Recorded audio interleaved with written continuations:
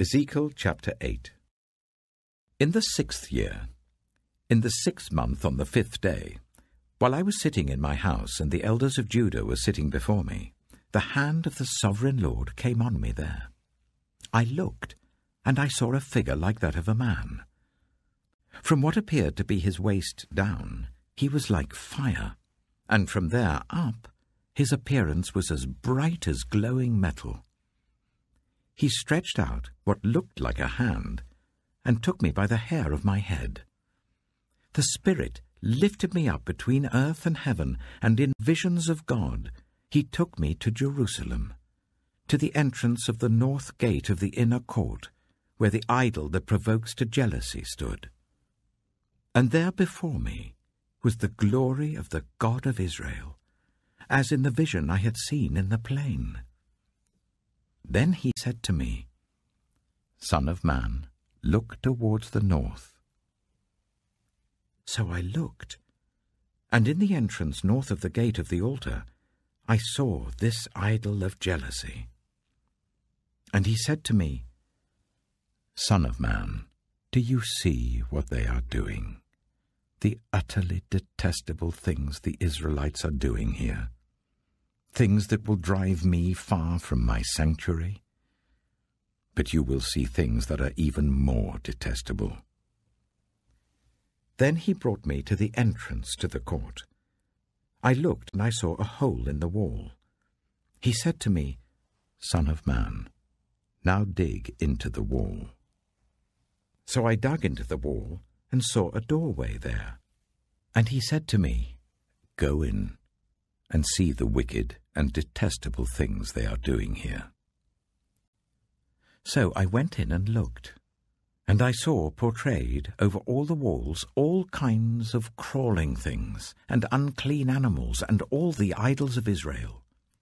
In front of them stood seventy elders of Israel, and Jaazaniah, son of Shaphan, was standing among them. Each had a censer in his hand, and a fragrant cloud of incense was rising. He said to me, Son of man, have you seen what the elders of Israel are doing in the darkness, each at the shrine of his own idol? They say, The Lord does not see us, the Lord has forsaken the land. Again he said, You will see them doing things that are even more detestable. Then he brought me to the entrance of the north gate of the house of the Lord, and I saw women sitting there, mourning the god Tammuz. He said to me, Do you see this, son of man? You will see things that are even more detestable than this.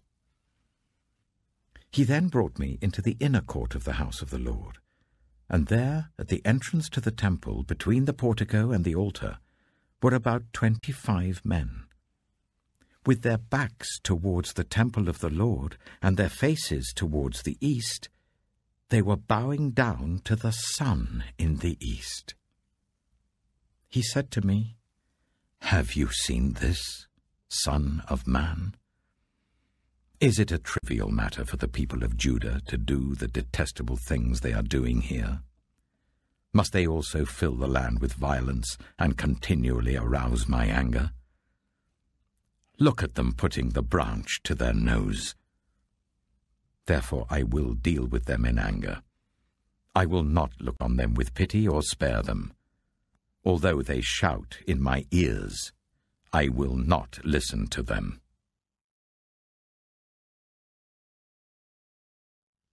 Ezekiel chapter 9 Then I heard him call out in a loud voice, Bring near those who are appointed to execute judgment on the city, each with a weapon in his hand. And I saw six men coming from the direction of the upper gate which faces north, each with a deadly weapon in his hand. With them was a man clothed in linen, who had a writing kit at his side. They came in and stood beside the bronze altar. Now the glory of the God of Israel went up from above the cherubim where it had been, and moved to the threshold of the temple. Then the Lord called to the man clothed in linen, who had the writing kit at his side, and said to him, Go throughout the city of Jerusalem and put a mark on the foreheads of those who grieve and lament over all the detestable things that are done in it. As I listened, he said to the others, Follow him through the city and kill, without showing pity or compassion. Slaughter the old men, the young men and women, the mothers and children, but do not touch anyone who has the mark begin at my sanctuary. So they began with the old men who were in front of the temple. Then he said to them, Defile the temple and fill the courts with the slain. Go. So they went out and began killing throughout the city. While they were killing, and I was left alone, I fell face down crying out, Alas, sovereign Lord! Are you going to destroy the entire remnant of Israel in this outpouring of your wrath on Jerusalem? He answered me, The sin of the people of Israel and Judah is exceedingly great. The land is full of bloodshed, and the city is full of injustice. They say, The Lord has forsaken the land, the Lord does not see. So I will not look on them with pity or spare them, but I will bring down on their own heads what they have done. Then the man in linen, with the writing kit at his side, brought back word, saying, I have done as you commanded.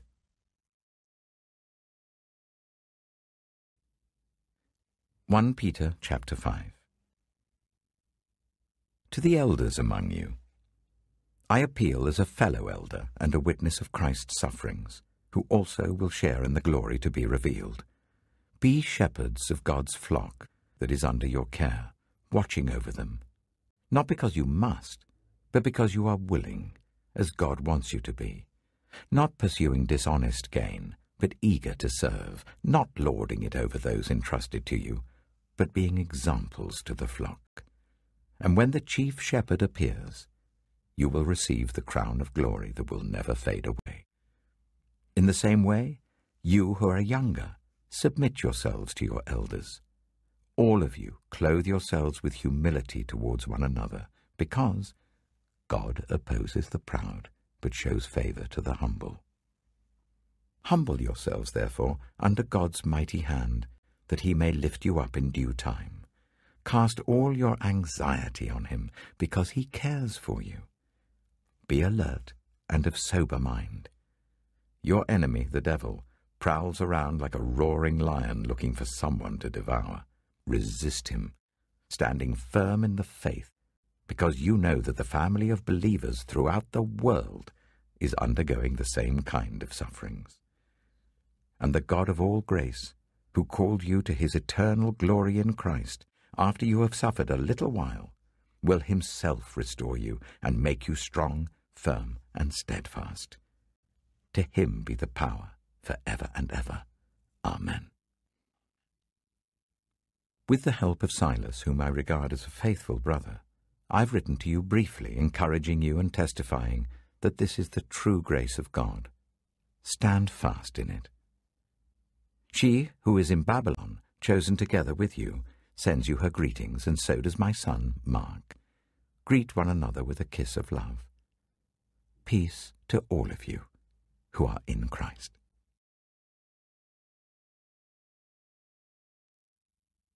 Psalm 110 The Lord says to my Lord, Sit at my right hand until I make your enemies a footstool for your feet. The Lord will extend your mighty scepter from Zion, saying, Rule in the midst of your enemies. Your troops will be willing on your day of battle.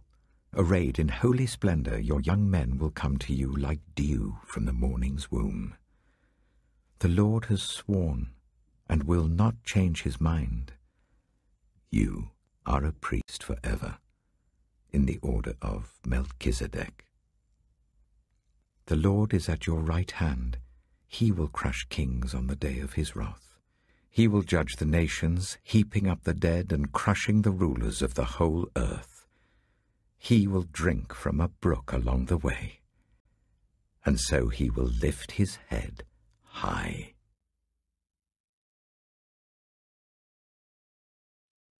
Proverbs chapter 28 The wicked flee, though no one pursues, but the righteous are as bold as a lion. When a country is rebellious, it has many rulers, but a ruler with discernment and knowledge maintains order.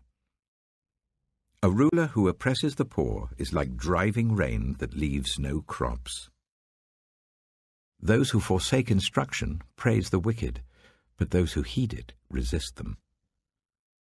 Evildoers do not understand what is right, but those who seek the Lord understand it fully. Better the poor, whose way of life is blameless, than the rich, whose ways are perverse. A discerning son heeds instruction, but a companion of gluttons disgraces his father. Whoever increases wealth by taking interest or profit from the poor amasses it for another, who will be kind to the poor. If anyone turns a deaf ear to my instruction, even their prayers are detestable. Whoever leads the upright along an evil path will fall into their own trap, but the blameless will receive a good inheritance. The rich are wise in their own eyes. One who is poor and discerning sees how deluded they are. When the righteous triumph, there is great elation.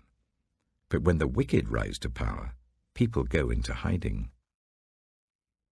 Whoever conceals their sins does not prosper but the one who confesses and renounces them finds mercy.